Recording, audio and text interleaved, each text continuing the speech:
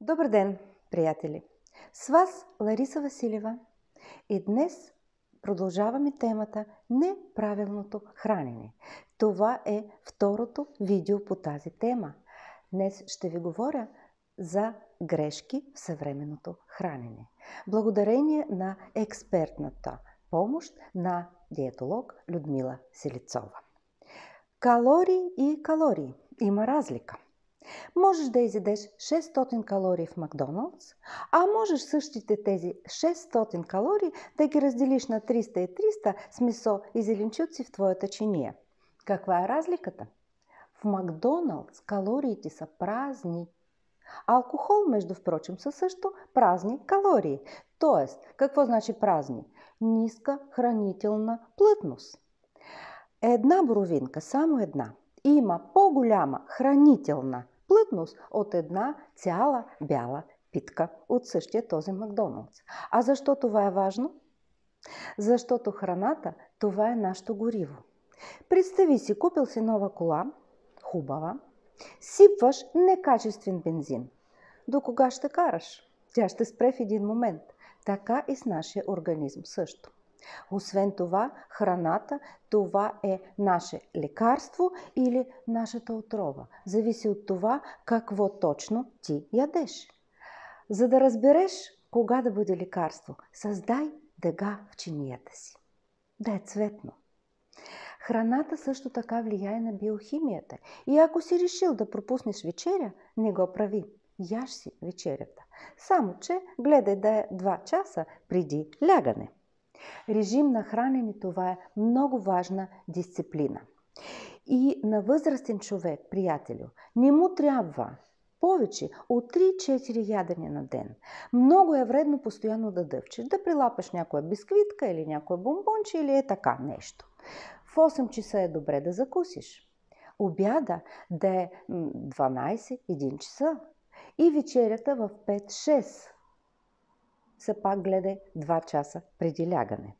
И всички тези хранения трябва да бъдат изключително добре сбалансирани. Тогава ще изпитваш глад непосредствено преди времето на поредното хранене, а на организма са му достатъчни само 3 дни, 3 дни, приятелю, да свикне с този режим. Тази дисциплина положително влияе на лептин. Какво е лептин? Това е хормонът в масната ни тъкан, който контролира чувството на глад. Обаче, при хора с наднормено тегло масната тъкан е толкова много, че лептинът не може да реагира. Рецепторите са скрити дълбоко в дебелата мазнина – и този проблем не само при хора с наднормено тегло. Същия този проблем с нереагиращ лептин имате хора, които постоянно нещо дъвчат и се хранят прекалено често. Друго. Който не спи, яде. Да, много е важно да се наспиваш. Да лягаш преди 11 часа вечерта и да спиш поне 7,5-8 часа на ден.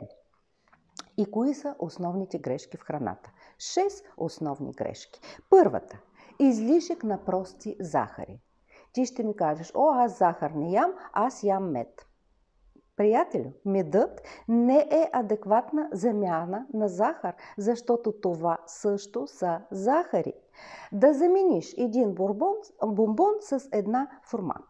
Окей, само от една гледна точка е добре, че там поне няма мазнини във формите. Но иначе пак говорим за захари. И си помисли колко много захар ядеш ти на ден. Плодове, това е десерт, не прикалявай с тях. И се едат, приятелю, след храна. Втора грешка. Присъствие на трансмазнини в нашата чиния, в нашата храна. Загрято олио. Това е трансмазнина, приятелю. Като маргарин или палмово масло не е по-добро.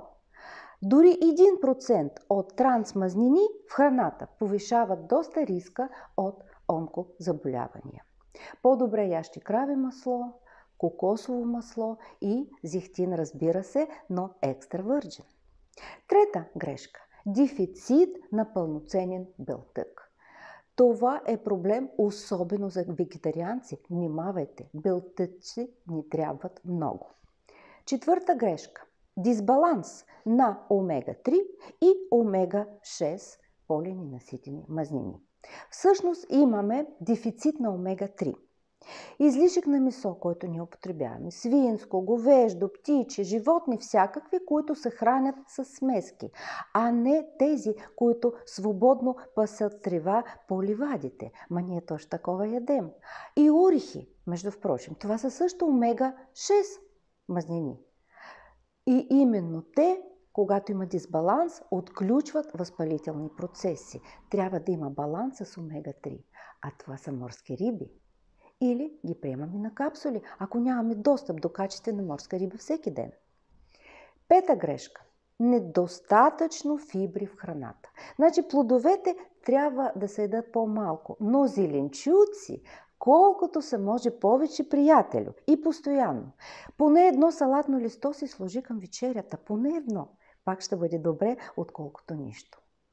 Нашите черва, това е нашият втори мозък. Трябва максимално да разнообразиш чинията си. И последна шеста грешка.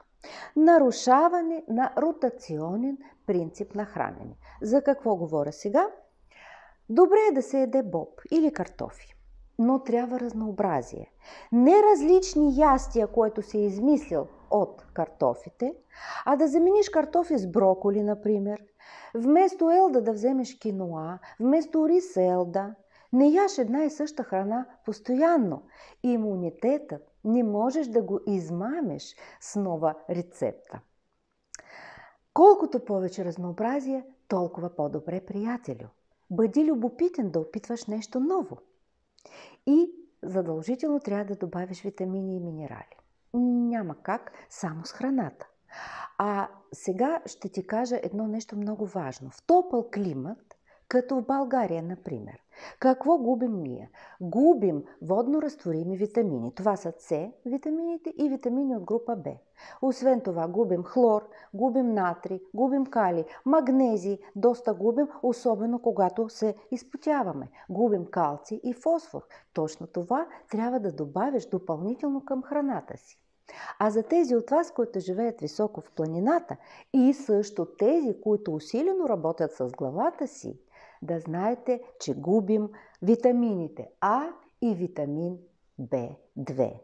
Добави ги към своята пъстра чиния с ядене и бъди сигурен, че твоята кола, нова и хубава, ще бъде такава за цял живот.